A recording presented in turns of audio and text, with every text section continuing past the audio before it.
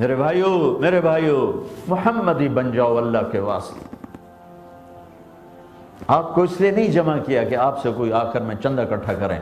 عام طور پہ تاجروں کو، مالداروں کو انڈیا، پاکستان سے جو آ کے اکٹھا کرتے آ کر میں اپیل ہوتی ہے کہ بھائی مسجد بن رہی، مدرسہ بن رہا ہے یہ بن رہا ہے وہ بن رہا۔ ہے میں آپ سے اللہ کی قسم ایک پینی کروا دار یہ کھانا بھی آپ لوگوں نے خود ہی کر دیا۔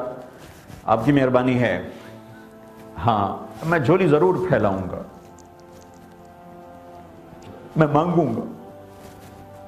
یہ میں پوڑ نہیں مانگوں گا، میں یہ مانگوں گا، کلمے والے بن جاؤ، محمدی بن جاؤ، اپنی شناخت قائم کرو، اپنی پہچان قائم کرو، اپنی نسلوں کے لیے کچھ چھوڑ کے جاؤ، انہیں اسلام دے کے جاؤ، آپ اس دیس میں ہو، اگر آپ نے اولادوں کو ٹائم نہ دیا تو یہ ضائع ہو جائیں گے، ان کو پتہ ہی نہیں ہوگا کہ ہم کون ہیں، ان کو پتہ ہی نہیں ہوگا کہ اسلام کیا چیز ہے۔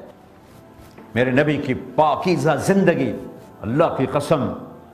اے ہائے، میں میں ایک چھوٹا سا حقیر سا طالب علم، میں کیسے بیان کروں؟ میری اوقات کیا ہے؟ میری حسی، حیثیت کیا ہے؟ گندی زبان ہے، میں کیا بیان کروں؟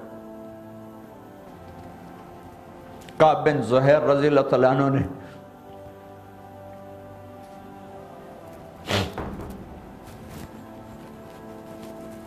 کافر تھے، بڑے شاعر تھے۔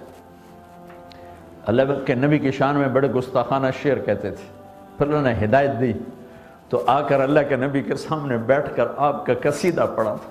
بانت سعاد فقلبی منہ مبتول۔ یہاں سے وہ شروع ہوتا ہے۔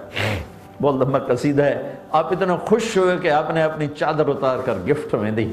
تو ان کا بس، یا رسول اللہ، یہ میرا کفن بنے۔ گا اور میرے پاس کوئی عمل نہیں۔